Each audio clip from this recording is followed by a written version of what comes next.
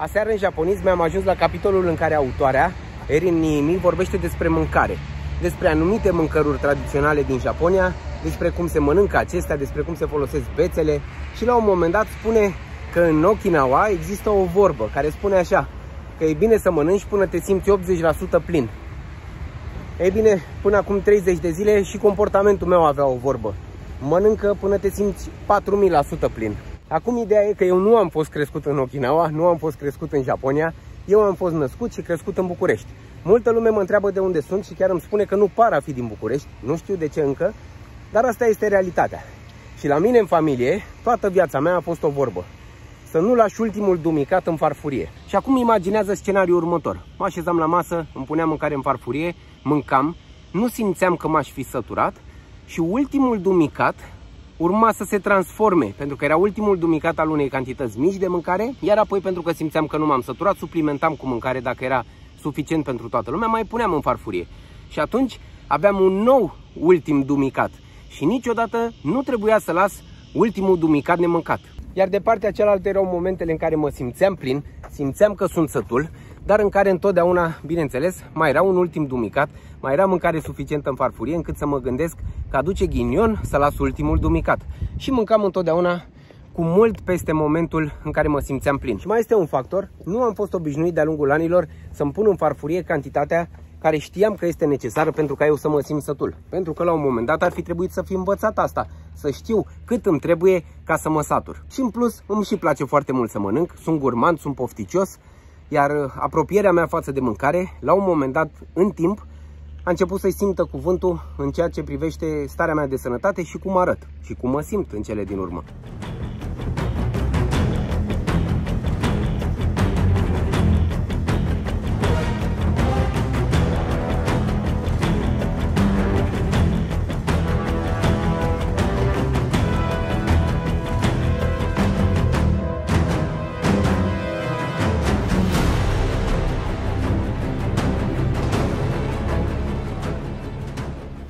Mai era o vorbă la mine în familie. Pofta vine mâncând. Ți-e foame? Nu ți-e foame? Nu contează. Te așezi la masă și mănânci. Pofta vine mâncând.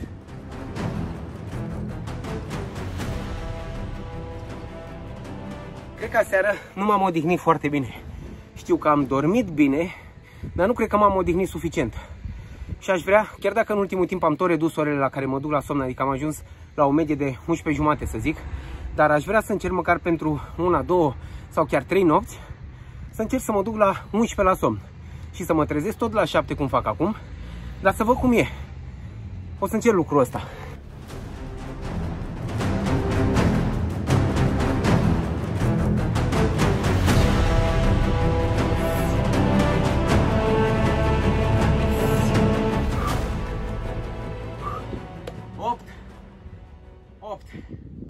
Am transpirat, dar nu sunt în cea mai bună formă. Trebuie să mă odihnesc un pic mai bine.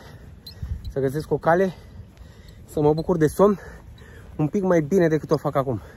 Nu știu care e treaba azi, dar îmi stă mintea doar la mâncare. Numai la asta mă gândesc, de când m-am trezit. Cred că e din cauza ce am citit aseară în japonisme. Pentru că atât de în detaliu vorbea autoarea despre cum se prepară sushi și alte preparate japoneze, nici măcar nu știu să le rostesc. Dar citeam rândurile, cuvintele ei și parcă simțeam sosurile, simțeam gustul mâncării.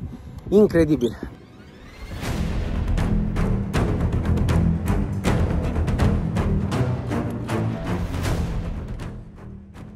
Și astăzi sunt transpirat, mi-am făcut antrenamentul și astăzi, 32 de zile la rând de antrenament, chiar dacă astăzi poate nu l-am făcut la fel de intens ca zilele trecute, dar am făcut un antrenament.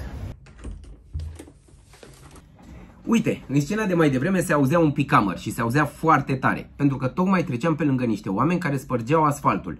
Iar acum 20 de vloguri îți spuneam, dar pentru că filmările au loc într-un mediu necontrolat, cel mai mult mă încurcă zgomotele asupra cărora nu am niciun control. Cu ei doi trăiesc eu pe umeri în fiecare zi. Iar partea rea e că primul omuleț, visător fiind, se concentrează foarte mult pe lucruri care încă nu s-au întâmplat.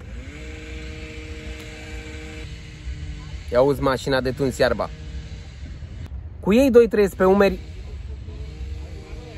de la vânt, la tramvaie, la clopote, mașini de tuns iarba, claxoane, sirene, dar și alte zgomote pe care nu le pot controla, Toate astea mă îngreunează foarte mult la filmări. De atunci și până astăzi am mai creat 19 vloguri și de la episod la episod am făcut eforturi reale ca să mai înlătur perfecționismul. Și nu a trebuit să car pietre de moară, ci a trebuit să fac altceva. Vlogul este în continuare cea mai costisitoare parte, ca timp consumat, în toată această provocare a mea. Și tot spun, încă de la episodul 7, dacă nu mă înșel, că vreau să scap de perfecționism sau măcar să reduc din el, să-l dau la o parte, ca să mă pot mișca mai repede în crearea de conținut video. Dar cum pot scăpa oare de ceva atât de general precum este perfecționismul? Asta este întrebarea de la care am pornit. Așa mi-am dat seama că primul pas în eliminarea sau în reducerea perfecționismului, cel puțin la aceste clipuri pe care le fac, este să identific cum arată el și unde apare. Și ușor, ușor mi-am dat seama că cel puțin în cazul meu la crearea acestor vloguri, perfecționismul apare la crearea planului perfect, la așezarea camerei în cele mai bune unghiuri, la crearea celei mai frumoase imagini dacă se poate, la exprimarea ideală și la crearea unor clipuri cu sunet fără cusur, dar și la alte activități. Însă acestea cred că erau cele mai importante. Odată ce am identificat cum arată acest perfecționism și unde apare el sau când apare, când se manifestă, am trecut la treabă. Am început să mă gândesc care sunt modurile prin care eu pot să combat această problemă pe care o am. Dar apoi, de la episod la episod, m-am lovit cu situații în care din cauza că nu-mi plăcea cum se aude sunetul, cum arată imaginea sau cum am spus eu o replică, trebuia să refilmez. Iar uneori asta era fie aproape imposibil, fie ar fi stricat tot clipul, fie m-ar fi împiedicat să duc obiectivul la bun sfârșit, să termin vlogul la timp și să-l postez în acea zi. Așa că am fost pur și simplu nevoit să accept că trebuie să postez chiar dacă unele lucruri nu erau cum îmi doream eu și nu erau perfecte. Fie că a intrat soarele cumva în cameră și a afectat imaginea și a făcut-o să fie diferită de restul clipului, sau că nu eram eu focalizat într-o altă imagine, sau fie că eram în anumite momente în care pe fundal se auzea mașina de tuns iarba sau astăzi picamărul. Făcând asta am văzut că nu a căzut cerul pe mine, am văzut că nu m-a durut, am văzut că pământul nu s-a rotit invers și mai mult ca orice am văzut că mi-am atins obiectivul. Am văzut că am mai creat și că am mai postat un vlog la timp, în acea zi. Așa mi-am dat seama că nu trebuie să mă lupt cu greșelile și cu imperfecțiunile. Și că dacă vreau cu adevărat să scap de perfecționism, trebuie să-mi accept imperfecțiunile. Atât la crearea acestor vloguri, dar la fel de bine și la toată viața mea în general. Și cu gândirea asta cred că de fapt am făcut progrese de la zi la zi. Până la urmă se pare că atât la crearea unor vloguri, dar la fel de bine și la alte activități profesionale și cu siguranță și la viețile noastre personale, se aplică vorba prietenului meu de jeu. Omul, de când se naște și până când pleacă, este supus greșelii și imperfecțiunii. Doar acceptând asta, vom ajunge să ne dezvoltăm cu adevărat și să ne bucurăm cu adevărat de viețile noastre.